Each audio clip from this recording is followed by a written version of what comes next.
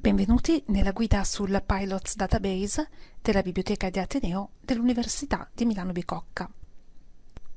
Innanzitutto vedremo cos'è il Pilots Database e come accedervi.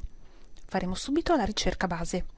Vedremo come vengono presentati i risultati e come scaricare il full text degli articoli.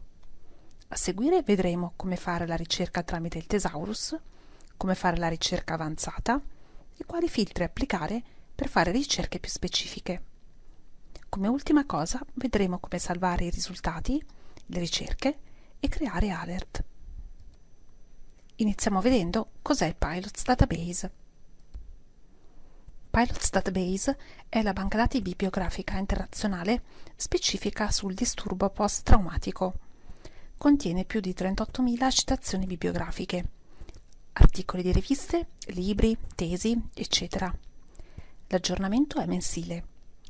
La copertura temporale va dal 1987 ad oggi.